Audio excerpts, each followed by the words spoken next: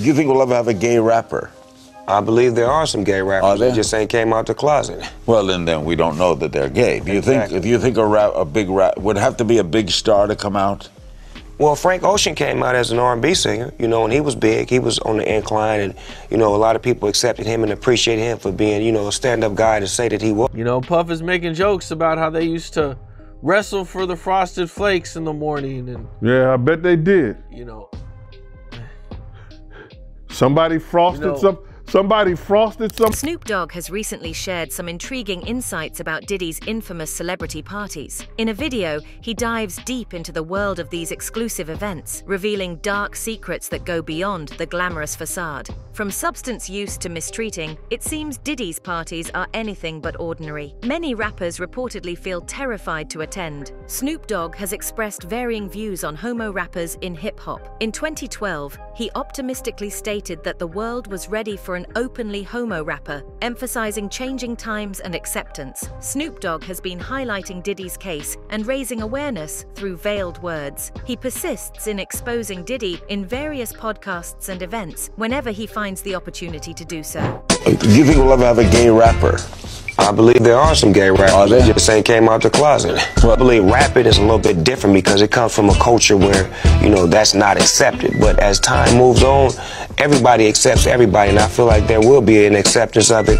It's just a matter of who will be, you know, the first one to come out of the closet. There'll Instead of be- have no, you know, control over what people think or feel. You know, do what makes you happy. Napoleon recently shared his thoughts on Snoop Dogg and Diddy in a podcast by The Art of Dialogue. The discussion revolved around Snoop Dogg's interactions with Diddy after Tupac's passing and his appearance on The Steve Harvey Show. Check out this audio from Suge Knight. It's from his podcast with Dave Mays, and he's speaking on, you know, Tupac and Snoop being cool and how, you know, after Tupac got killed, Snoop started hanging out with Diddy. And, you know, he also speaks on how, you know, Snoop, he did the Steve Harvey show with Diddy after Tupac got killed. Check this out. Okay. It's downloading right now. Then you look at the scenario how everybody used Pac to make their stuff famous or make their project better. You got people who use their songs with Pac and tell them how much they love Pac, but they do songs with Puffy. You got Steve Harvey, old bitch ass. You know, this motherfucker telling, well, fuck Pac, according to uh, everybody else. He brings um, Snoop and Puffy on there and say, these dudes who's running this in the East Coast, West Coast. What's up, Snoop? What's up, huh? Hey, whoa, whoa, whoa. Whoa, wait a minute, fellas here. Hold up. You know, I know all about this East Coast, West Coast rivalry thing here, but we in Chicago now. This rivalry stuff, we gotta stop it, man. We stop that, we stop a lot of this violence. Yo, Steve, check this, man. All that East Coast, West Coast stuff is a bunch of media hype. It's been my dog from day one, you know what I'm saying? It's all good between me and him. That's my peoples. For real, that's what we came in for. We came in to light it up and ride it up. We made music for. Now, Pac, if you love Pac so much, how you with the motherfucker everybody say got something to do with the first get down that happened to Pac in New York, then the second one. Allegations have surfaced suggesting that Snoop Dogg and Diddy frequented each other's company in the aftermath of Tupac Shakur's passing. Reports allege that Snoop Dogg and Diddy were seen together on multiple occasions, sparking speculation about their relationship and intentions during this sensitive time in hip hop history. Critics and observers alike have scrutinized their interactions, questioning the nature of their alliance and the implications it may have had within the rap community. What you think about Suge comments? And I never asked you this before, but did you have an issue with Snoop hanging out with Diddy after Tupac got killed? I, I always I, can I I mean I always felt that was wrong. I'm gonna just keep it real. I'm talking about from that like now, okay. You know what I mean? I'm 46, Snoop probably early 50, 50s. If he figured out now he he might go by the opinion like, okay, Puffy had nothing to do with Pac, you know, we grown now. If he wanna be his friend, no problem. But back then that was just awkward. You know what I mean? And the reason why it was awkward to me that I never even like like it because you knew how Pop felt about this individual. You know what I mean? Even if you don't agree with him, you probably could have said, you know what, I, I probably ain't gonna come out, you know, uh, publicly with this because until things clear up, so I really know I could be certain that, you know, they didn't had nothing to do with Pop. But it's like it was no, you know, okay, it is what it is. So that that that I never really respected that back then. So you had an issue with it. You didn't like it. never really liked it. It just was a strange look because you was Pac boy. You know what I mean? Puffy, you know, it's clear they had some issues with Pac. And Pac died, and all of a sudden you chilling with Puffy. Back then, it just okay. Now you can say you can say what you want. You all grandfathers, I guess. You know what I mean? That's different now. But back then, I think it was it was it was um it was it was weird. It was tasteless. You know what I mean? It didn't seem like you really had that much love for Pac. You could have just, you know what I mean? Unless he pressured them or like question uh, Puffy, like, yo, what's up with this? What's up with that? Then you could say, you know what I mean? No problem. Like somebody said, okay, I'm talk like I I, I, I like I, I, believe somebody mentioned that they seen a video with me and the dude Prodigy or one of the dudes from deep, as if I was with. They don't know the backdrop of that. I, I went to his hotel room ready to fight. Like, bro, I'll fight all everybody in that room one on one. Even if I lose, it doesn't matter. The Outlaws was with me. My homie Tiny, the Mexican homie, was with me. I didn't go there and say, let me get in a video with these guys. I went there knocking on their door, doom, doom, doom. Tell them dudes to come out. What's up with your what, What's up with your Pac? You you got a problem with Pac? Because we could just fight like man to man, face to face, and then shake hands. That's why. That's that was my approach with them. Jaguar Wright's recent statements about the close relationship between Diddy and Snoop Dogg have sparked allegations suggesting their potential involvement in Tupac Shakur's untimely demise. According to Wright, Snoop Dogg is now leveraging his platform to shift blame onto Diddy, portraying himself as innocent in the process. Wright's claims have ignited a firestorm of speculation and debate within the hip hop community, with many questioning the true nature of their relationships and the events surrounding Tupac's case. I swear, man, this game never ceases to amaze me. So, this young lady, Miss Jaguar Wright? if you guys are not familiar, she just dropped some more bombs on us, you hear me? So, she was talking about how Snoop potentially, and all of this is allegedly, how Snoop and Puff been secretly moving people out the way for years. So it seems like the Puff and Snoop relationship runs much deeper than we all think or so that we all thought. Honestly, these accusations that Jaguar Wright is making right now blows my mind, but it also makes me think. Yeah, check it out. I never wanted to believe it hear whispers throughout the years and you think that people are and, and Snoop and all, I have always had a decent rapport. But Snoop Snoop got some answering to do. Because if you were capable of doing what they're saying that you did to Tupac, why the f- Allegations suggest that Snoop Dogg's loyalty lies with Diddy over Biggie Smalls, possibly due to his close association and involvement with Diddy. This claim implies that personal connections and collaborations may have influenced Snoop Dogg's choices within the music industry. I said I want to do a song with them niggas. That's how I ended. I said I ain't got no issues with Puffy and Biggie in New York on Hot 97. Why the fuck did you say that? Because that's how I felt. they tried to get me to not like Puffy and Biggie while we was in the middle of the Death Row Bad Boy feud. And I, I made a choice that I had no issues with them. That right. was the Angie Martinez interview back in the days that created havoc between me and Death Row because motherfuckers didn't understand that I had enough sense to know that I had just beat a murder case. Now you want me to get in another? Mm. While I'm in New York with no guns? I'm from the hood. I gang bang, so I understand street politics. and I know there's gang bangers everywhere. Yes. We ain't the toughest niggas in the world. It's a tough nigga on every block. So when you try to be too tough, that's when your ass get checked. Preach! Preach! Snoop Dogg has reportedly explained that Kim, Diddy's ex-wife, desired for Diddy to maintain contact with him, even leaving her child at Snoop's house. This narrative suggests a complex relationship dynamic where familial ties and personal connections intertwine within the entertainment industry. It raises questions about the boundaries and responsibilities in such relationships, highlighting the nuances of interpersonal connections amidst the backdrop of celebrity life. Just so you know, On, Puffy's sons and my sons have been best friends since they were six, seven years old. I didn't make it happen and Puffy didn't make it happen. One night I was at my house and Puffy's son was over about like nine o'clock and I'm like, cuz, what time you going home? And he like, I'm spending the night. Uh. I'm like, did you tell your dad? He like, nah, my mom dropped me off. So Kim, rest in peace, was connecting my kids with Puff kids, and they formed a friendship and a bond. When Justin went to UCLA, my son went to UCLA. When, when Christian was rapping, my son was rapping. When he was modeling, they was flying over the world together. So they forged a friendship and a brotherhood that me and Puff always had. So if we got the opportunity to take these two brands and show people what it can be as opposed to what it used to be, that's what Snoop Dogg and Dr. Dre have purportedly issued warnings to Diddy, although the specifics of these warnings remain unspecified. These alleged admonitions suggest a potential friction or concern within the music industry, hinting at underlying tensions or disagreements between these influential figures. Such incidents often fuel speculation and interest within the media and among fans, reflecting the intricate dynamics and rivalries that can exist within the world of hip hop. I like when you like this, Daddy. Daddy, I like when you on scrambling and scraping, when you on scrambling and scraping and shit. God damn it, I'm in. Right.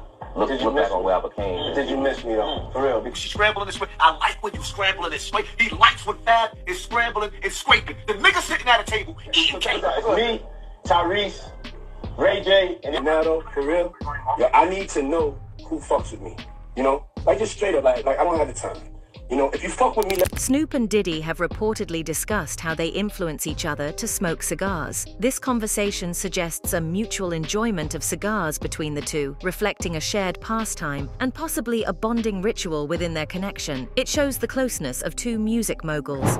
Hey yo, you know the crazy the, the crazy part is I, I know I know this would sound like you know I'm making it up, but remember the day you and Wiz taught me how to smoke Right, when I first moved to LA, right. and I told y'all like I always went. You wouldn't do it the right way. You wouldn't in there. I, I didn't do it the right way, and this crazy shit was like I had had seen so much shit, but when I inhaled, I saw shit I never saw. So I want to thank, I want to thank you and Wiz for teaching me how to smoke, man. And yo, yo, yo and, and, and an OG once told me, best advice I can give you: leave the party while it's hot. So I'm out of here. Ooh, I love you, my nigga. Bang. Love. Don't get no realer than that right there. A real check-in, you understand me? A check-in from a boss. Without grade in the background. Snoop Dogg and Diddy have been seen traveling together in the same car, sparking interest and speculation among fans and the media. This joint transportation suggests a close relationship or collaborative effort between the two influential figures in the music industry. I said I want to do a song with them niggas. That's how I ended. I said I ain't got no issues with Puffy and Biggie in New York on Hot 97. Why the fuck did you say that? Because that's how I felt.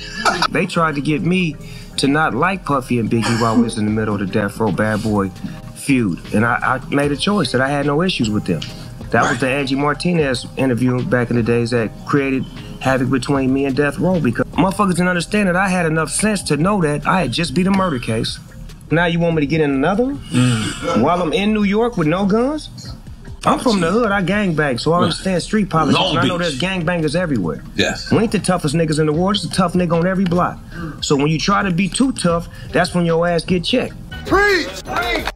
There have been allegations circulating about leaked footage allegedly showing Diddy with Meek Mill. This purported footage has sparked interest and speculation within the media and among fans, raising questions about the nature of their relationship and any potential collaborations or interactions between the two artists. They had a recording of Meek and Diddy.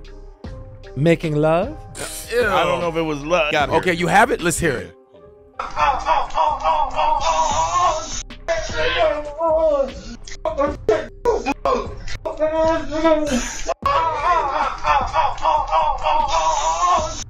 What? Yo, wait a minute. Wait, ah! You didn't hear this? No! Now, Mir- Miran, Yeah. what does that sound authentic? It, Play it- play it it for him absolutely. again. Oh my god! Yeah, yeah, just really give it a good listen. It's I'm, People want to make it. They want to make it so badly. You get mm. these vulnerable people. Parents are letting you do this because they want to make it so badly. And then you record them probably and say, if you do anything, we got this on you. Jaguar Wright and Gene Deal have been discussing various allegations against Diddy on The Art of Dialogue. Gene Deal, who used to be Diddy's bodyguard, has shared several stories and accusations about Diddy's behavior and actions in the music industry. Jaguar Wright, a singer known for being outspoken, has also talked about her experiences and observations. These discussions have generated a lot of interest and controversy, as both Wright and Deal provide insider perspectives on the industry and Diddy's role in it. If Diddy has to worry about anybody, it would have to be these two people. This is my girl Jaguar Wright? And this is ex Bad Boy Security, Gene Deal. These two people have had the most to say about Diddy when it, when it comes to all the allegations and everything that is coming out right now. Jaguar Wright has actually been speaking on Diddy and his actions for years. Gene has recently come out and has been speaking on things that happened with Big, things that happened with Puff, things that happened with Pac. I'm talking about giving very, very detailed inside information. A lot of flack for just telling the truth. And the truth is, the only thing I would say that we're doing is just being accountable for what we saw and being accountable for the hell it started. And like I told these guys now, people who commit crimes commit crimes with criminals. Yeah, they do. I ain't never been no criminal. No.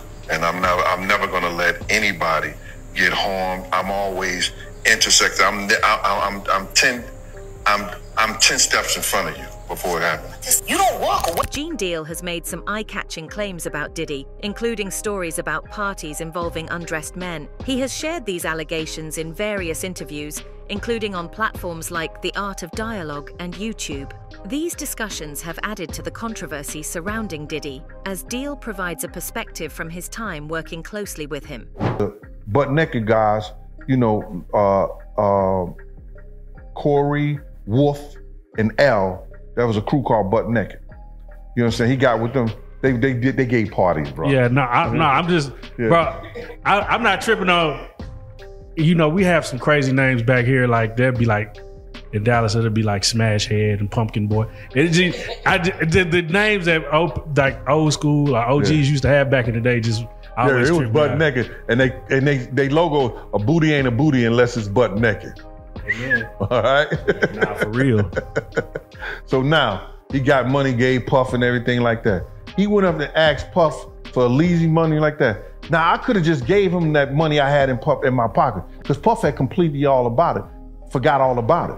Never asked me the two weeks he was back in town and nothing like that because I only had Puff on weekends, Friday, Saturday, and Sunday. When I get off work on Friday, you understand they'll call There have been various allegations involving Dr. Dre, Snoop Dogg, and Diddy, often stemming from their time in the music industry. Some of these claims have been made by individuals like Suge Knight, who has suggested that they are part of a secret society. This shows that Snoop is also involved with Diddy, and now he is exposing Diddy just to appear innocent so that no one would suspect him.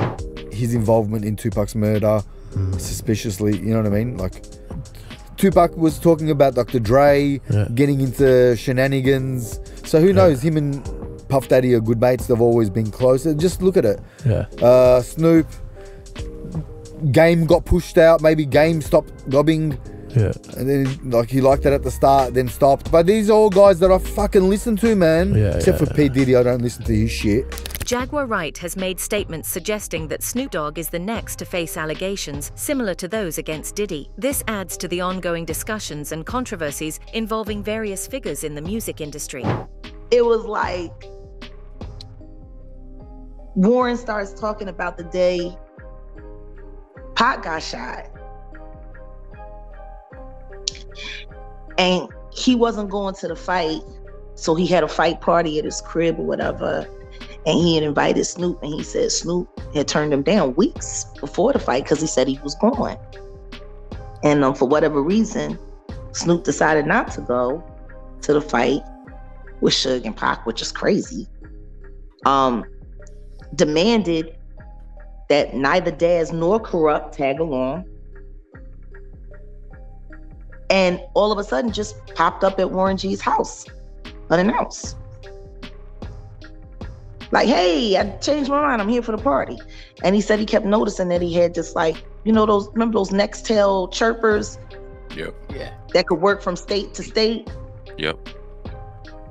Well, he said Snoop had one, and he was talking on it on and off the whole day. And then he said the damnedest thing. He said Snoop got hit up on the joint when Pac got shot. Before it hit the news. Moreover, Wright has made several claims about Diddy's methods of control within the music industry. She alleges that Diddy uses manipulation and intimidation to maintain power over artists and others in his circle. He said the objective of Bad Boy is to kill talent. We don't want talented motherfuckers at Bad Boy. Talented motherfuckers think they gotta say. Oh, a talented motherfucker will tell you, I'm gonna turn in my album when I feel like it. He said, but see, if we get people with no talent, and then we make them look like stars, see, we have total control.